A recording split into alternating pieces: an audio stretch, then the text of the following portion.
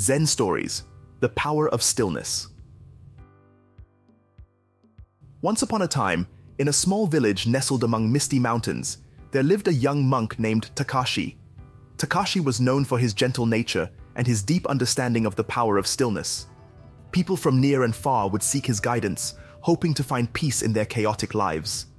One day, a troubled traveler arrived at the village seeking solace from his restless mind. The traveler approached Takashi and poured out his worries and anxieties, hoping for a solution. Takashi listened patiently, his eyes reflecting compassion and understanding. After the traveler finished speaking, Takashi smiled gently and said, To find peace, you must learn the art of stillness. Come, let me show you. The two of them embarked on a journey, walking deep into the heart of the forest until they reached a serene clearing. Takashi sat down on a smooth rock and motioned for the traveler to join him. Close your eyes, Takashi instructed, and take a deep breath. Be aware of your thoughts, but do not cling to them. Let them pass like clouds in the sky. The traveler followed Takashi's guidance, taking a deep breath and allowing himself to relax. As he sat in silence, the rustling leaves and the song of birds became his only companions. Gradually, the noise of his mind began to fade, replaced by a tranquil stillness that permeated his being.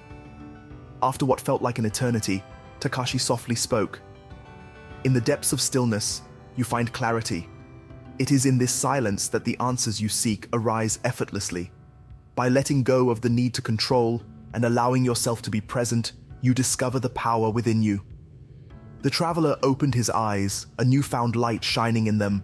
He thanked Takashi and returned to the village, carrying the essence of stillness within him. From that day forward, he lived his life with a calm mind, making decisions from a place of inner peace. Word of the traveler's transformation spread throughout the village, and people came to Takashi, eager to learn the art of stillness. Takashi continued to guide them, teaching the profound wisdom that lies in the simplicity of being present. And so, in the village nestled among misty mountains, the power of stillness became a guiding light, reminding everyone that amidst the chaos of life, a moment of quiet reflection can bring forth clarity and peace within us all. This story is a profound understanding of the power of stillness. It teaches us that amidst the chaos and noise of our lives, taking a moment of quiet reflection and being present can bring forth clarity, inner peace, and the answers we seek. The story emphasizes the importance of letting go of the need to control and embracing the tranquility that comes with being in the present moment.